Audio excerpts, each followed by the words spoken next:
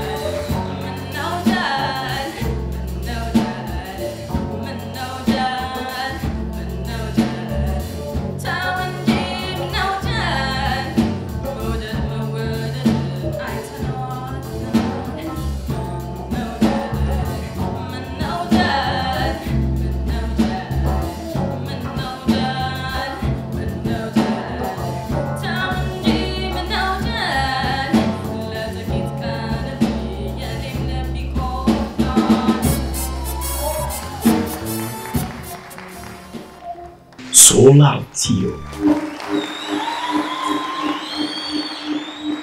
የዘፈንሽው ዘፈን እንግዲህ አንቺው የኔ ነው።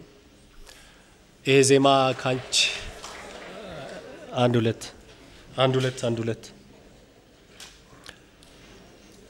ይሄ ዜማ አንቺ ወየ ለኔ ነው።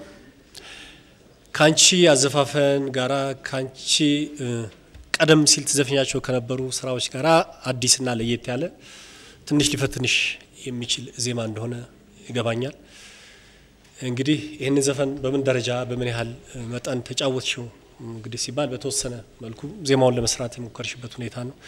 ያም ሆኖ ግን ዜማውን ቅኝቱን ይዘሽ ደረጃውን ጠብቆ የተዘፈነበት ሁኔታ ብዙም አልታየም። ያም ሆኖ ግን በጥቅሉ ዛሬ ይመስለኛል በዚህ ቅኝት ውስጥ ብዙ የሰራሽ አልመሰለኝም እና በዚህ መንፈስ እንግዲህ የተጠበቀውን ያህል መስፈን የሚገባሽን ያህል በዚህ ዜማ ዙሪያ ላይ እጅግ የዘፈንሽ አልመሰለኝም የሚል አስተያየት ነው ያለኝ። እነዚህን መሰረታዊ ቅኝቶች የግድ እኛ አይድል ብለን የምንላቸው ልጆች አውቀው መሄድ ይገባቸዋል ብለን ስለምናስብ ነው ይሄ ዘፈን ተመርጦ ሊሰጥሽ የቻለው። ስለዚህ የሞከርሹ ሙከራ እኔ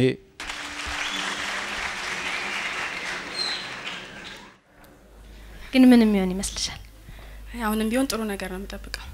አንደኛ የሚወጣው ተወዳዳሪ መኪና ነው የሚሸለመው። አንደኛ ወጥተሽ መኪና ብትሸለሚ መኪና መንዳት ትችያለሽ? መኪና መንዳት አልችልም። ታዲያ እንዴት ልታረጊ ነው? ሹፌር አዘጋጅቻለሁ።